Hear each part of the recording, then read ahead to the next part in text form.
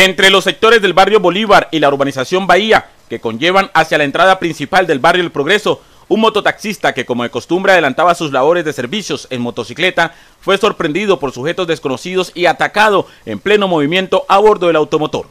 Los combinados proyectiles que se alojaron en su cabeza y su cuerpo acabaron con su vida de manera instantánea ante la vista de transeúntes, quienes sorprendidos buscaban de manera afanosa huir del sitio, mientras otros conocer de quién se trataba la nueva víctima de las balas. Con la llegada de las autoridades de criminalística, se conoció que la víctima era morador del barrio Carlos Holmes, contaba con 21 años de edad y respondía al nombre de Luis Felipe Caicedo Solís, conocido popularmente como Tulio. Los móviles ya quedaron en una investigación más por parte de las autoridades competentes.